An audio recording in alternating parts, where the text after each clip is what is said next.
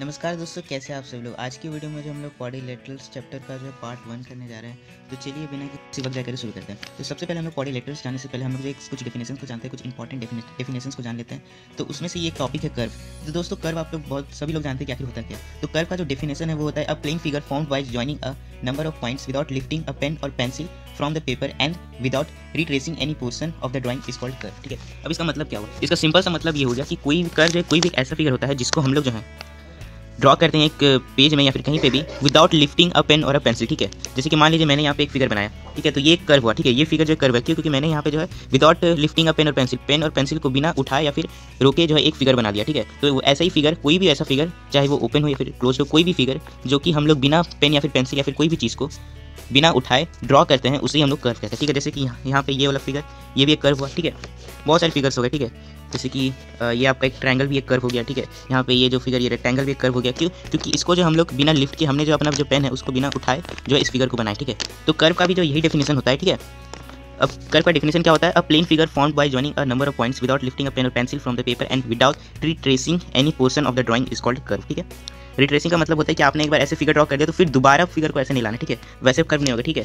जैसे कि यहाँ पे मैंने फिगर बनाया, एक बार आपने ऐसे कर दिया, हो गया कर्व ठीक है? एक बार ऐसे, ठीक है, हो गया कर्व ठीक है? पेन और पेंसिल को ना ही तो दोबारा दूसरे जगह पर लाना है, ना ही तो उठाना है लिफ्ट करना है, ठीक है? बिना लिफ्ट किए जो है आपको जो फिगर बनाना है, ठीक है?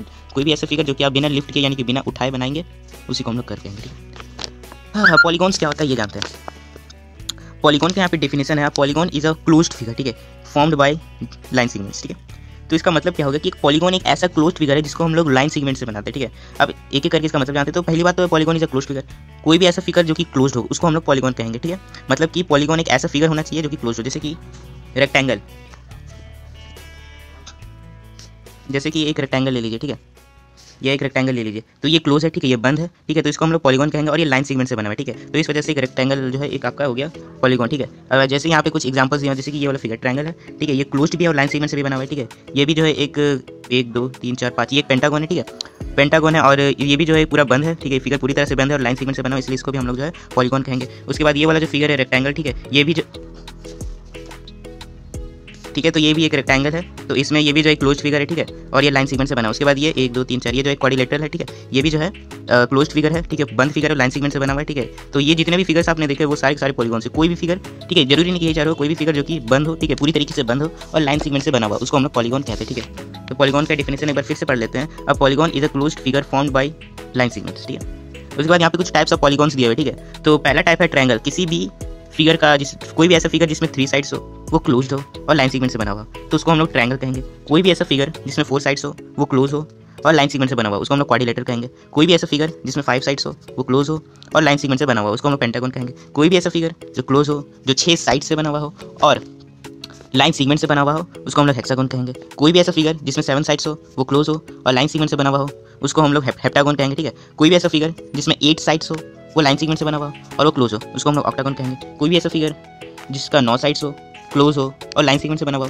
उसको हम लोग नोनागोन कहेंगे, ठीक है? कोई भी ऐसा फिगर जिसमें दस साइड्स हो, ठीक है क्लोज हो, और लाइन सीगमेंट से बना हुआ, उसको हम लोग डेकागोन कहेंगे, ठीक है? और कोई भी ऐसा फिगर जो कि क्लोज हो लाइन सीगमेंट से बना हुआ, और उसमें एन साइड्स हो, ठीक है? एन साइड्स हो, उसको हम लोग एन गोन कहेंगे, ठीक है? तो ये थे कोऑर्डिनेटर के कुछ टाइप्स ठीक है? सॉरी पॉलीगॉन्स के कुछ टाइप्स ठीक है? इसको जो है, इसका जो नोट्स आपको डिस्क्रिप्शन मिल जाएगा, वहाँ से आप देख सकते हैं। उसके बाद जानते हैं कि रेगुलर पॉलीगॉन क्या होता है। तो रेगुलर पॉलीगॉन का डिफिनेशन हो जाएगा regular polygon is a polygon whose all sides and all angles are equal ठीक है? एक ऐसा पॉलीगॉन जिसका ऑल साइड्स और ऑल एंगल्स इक्वल हो, उसको हम लोग रेगुलर पॉलीगॉन कहेंगे, ठीक है? ठीक है, कोई भी ऐसा पॉलीगॉन जिसका सारा साइड्स इक्वल हो और सारे एंगल्स भी इक्वल हो, उसको हम लोग रेगुलर पॉलीगॉन कहेंगे, ठीक है? अब यहाँ पे कुछ पॉलीगॉन्स के प्रॉपर्टीज़ दिए हुए ठीक है? हाँ तो पॉलीगॉन्स का पहला प्रॉपर्टी दिया हुआ है कि each interior angle of polygon ठीक है? एक पॉलीगॉन का हर एक इंटीरियर एंगल ईच हर एक इंटीरियर एंगल यानी कि एक इंटीरियर एंगल इक्वल्स टू होता है N minus two into one eighty degree by N ठीक है? क्या होता है? N minus two into one eighty degree by N ठीक है? अब वो, अब जैसे कि मान लीजिए पेंटागोन है तो पेंटागोन में कितने साइड्स होते हैं? हमने देखा फाइव साइड्स होते हैं। तो अब अगर आपको बोला जाए कि पेंटागोन का ईच इंटीरियर एंगल निकाले तो आप इसी फॉर्मुला से निकालिएगा, ठीक है? यहाँ पे एन का मतलब होता है साइड्स ठीक है? तो यहाँ पे N minus two into one eighty degree by N तो यहाँ पे एन माइनस टू यानी कि फाइव माइनस टू थ्री हो जाएगा, ठीक है? थ्री हो जाएगा into one eighty degree by N का मतलब फाइव तो फाइव से वन एटी थर्टी सिक्स बार में कट जाएगा ये वन एटी डिग्री आ जाएगा, ठीक है? यानी कि पहला प्रॉपर्टी ये कि each interior angle of polygon equals to होता है N minus two into one eighty degree by N ठीक है? यानी कि पॉलीगॉन का जो ईच एंगल होता है, वो एन माइनस टू उसको निकालने का, उसका निकालने का फॉर्मूला होता है N minus two into one eighty degree by N ठीक है? चलिए नेक्स्ट प्रॉपर्टी की ओर बढ़ते हैं। नेक्स्ट प्रॉपर्टी है each exterior angle of polygon ठीक है? Equal to three sixty degree by N ठीक है? यहाँ पे each exterior angle of regular polygon लिख लीजिए, ठीक है? रेगुलर होना चाहिए, ठीक है?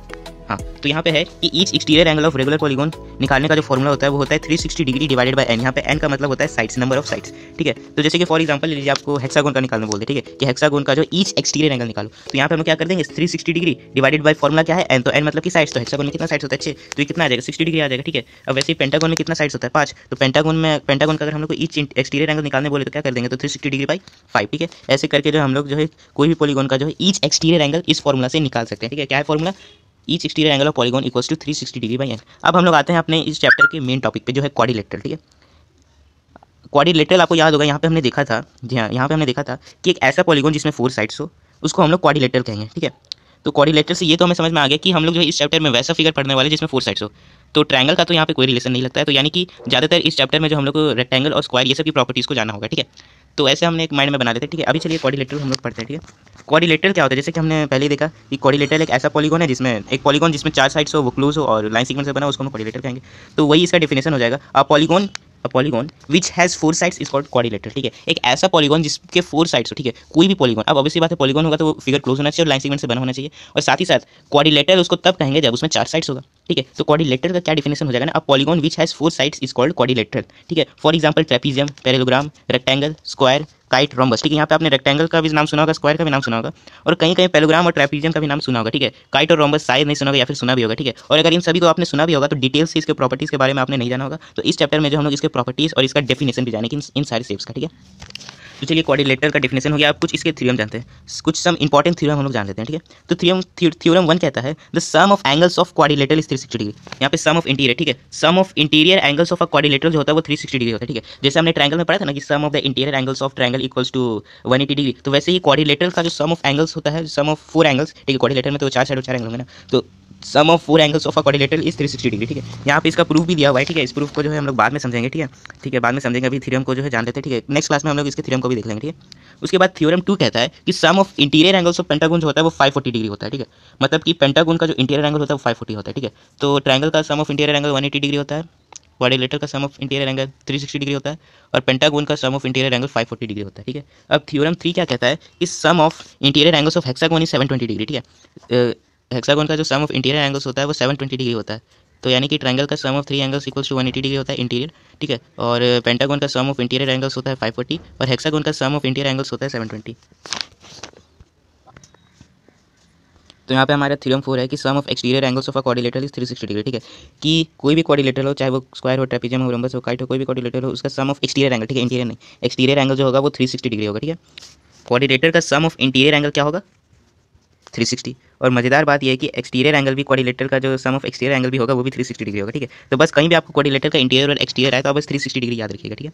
तो चलिए दोस्तों, आज की वीडियो में हम लोग बस इतना ही जानेंगे, ठीक है? आज की वीडियो में हम लोग ने क्या क्या जाना? कर्व जाना पॉलीगॉन जाना टाइप्स ऑफ़ पॉलीगॉन जाना पॉलीगॉन का जो है, कुछ प्रॉपर्टीज़ जाना पॉलीगॉन का एक टाइप जो कि कोऑर्डिनेटर है, उसका जो है कुछ थ्योरम को जाना, ठीक है? नेक्स्ट क्लास जो है वो बहुत इंपॉर्टेंट होने वाला है, क्योंकि नेक्स्ट क्लास में हम लोग जितने भी कोऑर्डिनेटर है, ठीक है? जैसे कि आपका देखिए, यहाँ पे हमने टाइप्स ऑफ़ कॉर्डिलेटर पढ़ा था ना ट्रेपीजियम पैलोग्राम रेक्टेंगल स्क्वायर कार्ड ट्रोम्बस इन सब के बारे में विस्तार से डेफिनेशन वाइज प्रॉपर्टीज़ वाइज ठीक है, इसको जानेंगे। तो नेक्स्ट वीडियो वीडियो जो है, इससे भी ज़्यादा इंपॉर्टेंट होने वाले ठीक है? तो चलिए दोस्तों, आज की वीडियो बस इतने लाइक करें को कमेंट करो चैनल पर नहीं तो चैनल को सब्सक्राइब करें। मिलते हैं वीडियो में। Good bye thank you